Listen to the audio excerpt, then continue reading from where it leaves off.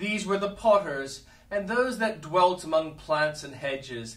There they dwelt with the king for his work. Potters were the very highest grade of workers, but the king needed potters, and therefore they were in royal service. Although the material upon which they worked was nothing but clay, we too may be engaged in the most menial part of the Lord's work. But it is a great privilege to do anything for the King, and therefore we will abide in our calling, hoping that, although we have lain among the pots, yet shall we be as the wings of a dove, covered with silver, and her feathers with yellow gold.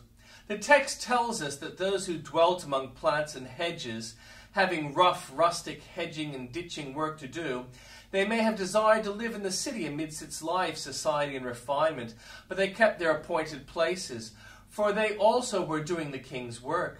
The place of our habitation is fixed, and we are not to remove it from it out of whim and caprice, but seek to serve the Lord in it by being a blessing to those among whom we reside. These potters and gardeners had royal company, for they dwelt with the king, and although among hedges and plants, they dwelt with the king there.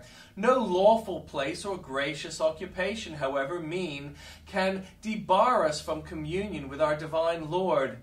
In visiting hovels, swarming lodging houses, and workhouses or jails, we may go with the king.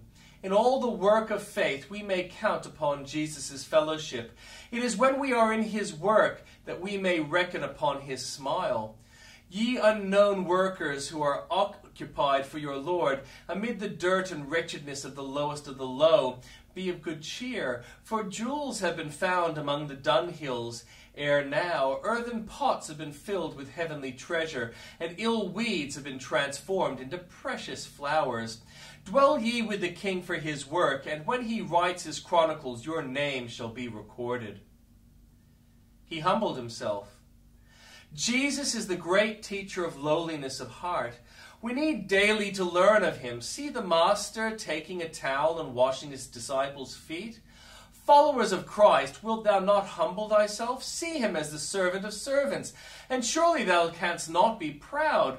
Is not this sentence the compendium of his biography? He humbled himself was he not on earth always stripping off first one robe of honor and then another, till naked he was fastened to the cross, and there did he not empty out his inmost self, pouring out his lifeblood, giving up for all of us, till they laid him penniless in a borrowed grave?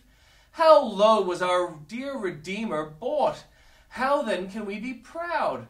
Stand at the foot of the cross and count the purple drops by which you have been cleansed See the thorn crown mark his scourged shoulders, still gushing within crimson rills. See hands and feet given up to rough iron, and his whole self to mockery and scorn. See the bitterness and pangs and throes of inward grief showing themselves in the outward frame.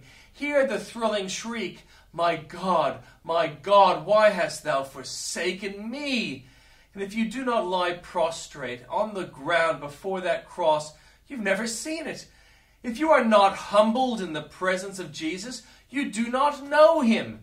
You are so lost that nothing could save you but the sacrifice of God's only begotten. Think of that. And as Jesus stooped for you, bow yourself in lowliness at his feet. A sense of Christ's amazing love to us has a greater tendency to humble us than even a consciousness of our own guilt.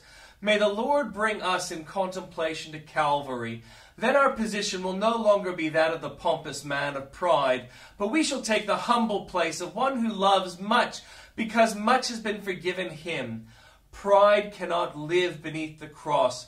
Let us sit there and learn our lesson and then rise and carry it into practice.